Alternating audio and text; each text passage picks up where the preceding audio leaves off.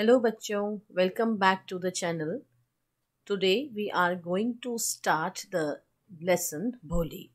This is the story of a girl child Bholi.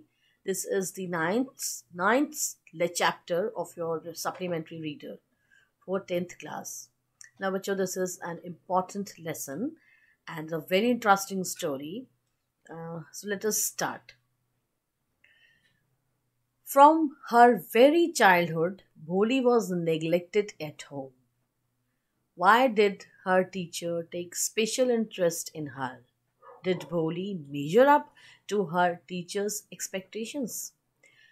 भोली एक ऐसी बच्ची है जो घर से थोड़ी नेग्लेक्टेड है उसकी टीचर उसको एक स्पेशल इंटरेस्ट दे रही है क्यों और क्या भोली अपनी टीचर की एक्सपेक्टेशन पर खरी उतरती है now this is the story This is what we are going to know from the story. Why is Bholi's father worried about her? In this part, we are going to read this. Why is Bholi's father worried about her? उसके father Bholi के लिए भोली के father क्यों worried हैं चिंतित क्यों हैं for what unusual reasons is Bholi sent to school किन अलग कारणों की वजह से भोली को स्कूल भेजा गया तो ये तब की स्टोरी है जब अब भी शायद कुछ गाँवों में ऐसा होता है कि हम लड़कियों को प्रेफर नहीं करते स्कूल भेजना। सो ये तब की स्टोरी है जब ज़्यादातर ऐसा होता था कि स्कूल स्कूल हम लड़कियों को नहीं भेजते थे। आज हम देखते हैं कि अच्छी भरी स्ट्रेंथ लड़कियों की भी स्कूल में आती है। सो ये, इस स्टोरी में जो लड़की है her name was Sulekha but since her childhood everyone had been calling her Bholi the simple ton उसको भोली के नाम से बोलते हैं। जैसे भोलू कह देते हैं ना लड़कों को कि जो बच्चे जिनको बहुत ज़्यादा जिनके पास बुद्धि नहीं है तो हम उनसे भोलू कह देते हैं। सो so, यहाँ इसी तरह से आप समझ सकते हो कि इसका नाम भोली है। Bholi the simpleton she was four she was the fourth daughter of लंबरदार Ramlal. ना लंबरदार यहाँ पे जब ये वर्ड बोला गया तो इट मीन्स कि बहुत poor poor he is not one of the poor one नंबरदार है, वहाँ का जमींदार टाइप का आप समझ सकते हैं। When she was ten months old she had fallen off the cot यानी वो चारपाई से, ठीक है, चारपाई से वो गिर गई थी। और fallen off the cot on her head उसके सर के बल गिर गई थी वो, जब वो दस महीने की थी, छोटी, नन्ही बच्ची। पर हैम्स से had damage some part of her brain तो शायद उसके दिमाग में कहीं चोट लग गई right and that that was why she remained a backward child इसलिए वो बैकवर्ड चाइल्ड हो गई। And came to be known as Bholi और उसका नाम वहीं से भोली द सिंपलटन पड़ गया। At birth the child was fair and pretty जब वो पैदा हुई थी तो वो अच्छी भली, गोरी और सुंदर थी। But when she was two years old she had an attack of smallpox उसको एक मतलब स्मॉल पॉक्स हो गया, माता जी निकल गई जैसे बोलते हैं, इस तरह से। Only the eyes was saved सिर्फ़ उसकी आँखें बची but the entire body was permanently disfigured now this this word is important permanently disfigured उसके by deep black pock marks तो उसके पॉक मार्क्स हो गए थे and this is what this is why मतलब उसकी क्या है? दो कमज़ोरियाँ हमें पता लग गई।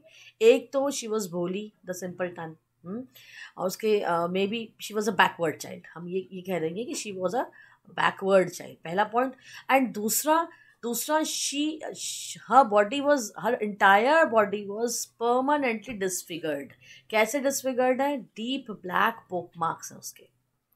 Little Sulekha could not speak till was till she was five अब देखो, पाँच साल तक वो बोली ही नहीं।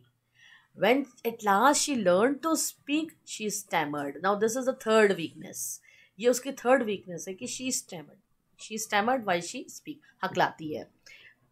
The other children offer make fun of her now ये हमने make fun of her Wanda के टाइम पे भी देखा है। हाँ तो लोग उसकी मज़ाक उड़ाते हैं एंड मिमिक्ड हर मज़ाक उड़ा करके हम जो उसकी नकल करते हैं दैट इज़ कॉल्ड मिमिकिंग तो मिमिक भी करते हैं। As a result she talked very little अब जब आपकी कोई मज़ाक उड़ाएगा तो ज़ाहिर सी बात है, फिर आप बोल रहे क्यों बोलोगे? नहीं बोलोगे? तो सिमिलरली वो बहुत कम बोलती है। रीज़न ये आ सकता है कि क्यों कम बोलती है तो वहाँ पे वी कैन से दैट कि वो she stammered and because she stammered other people often made, made her made fun of her and mimicked her so as a result she talked very little ramlal had seven children three sons and four daughters and the youngest of them was भोली तो सबसे छोटी कौन थी भोली तीन सन थे चार डॉटर्स थी और उसमें यंगेस्ट ऑफ़ देम वाज भोली सबसे छोटी उनमें से भोली थी। It was a prosperous father's farm farms farmers household मतलब वो, ठीक है, वो किसान थे, गाँव में थे बट दे वर प्रॉस्परस ऐसा नहीं था कि वो बहुत ज़्यादा गरीब थे नंबरदार थे उस गाँव के तो उनके पास ऐसा नहीं है क्योंकि अब प्रस्पैरिटी नहीं थी। ठीक थी। There was plenty to eat and drink तो खाने पीने में कोई प्रॉब्लम नहीं थी एवरीथिंग वॉज़ प्लेंटी अच्छी अमाउंट में था। All the children except Bholi were healthy and strong भोली के अलावा सारे ही हेल्दी भी थे और स्ट्रॉन्ग भी थे।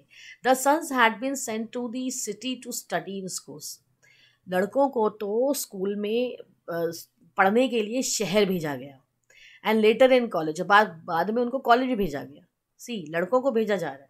Of the daughters Radha the eldest Radha सबसे बड़ी थी had been married शादी हो चुकी थी and a second daughter Mangla's marriage had also भी सेटल मंगला की शादी भी सेटल डाउन थी and when that was done तो जब वो हो गई यानी मंगला की शादी जब हो गई Ramlal would think of the third उसने तीसरी के बारे में सोचा उसका नाम है Champa they were good looking healthy girls and it was not difficult to find bright grooms for them वो हेल्दी थी हेल्दी लड़कियाँ थी, दिखने की अच्छी थी तो उनकी शादी, उनके ब्राइड ग्रूम्स यानी दुल्हा ढूँढने में कोई दिक्कत नहीं हुई। But Ramlal was worried about Bholi Bholi के बारे में वारिड है। क्यों?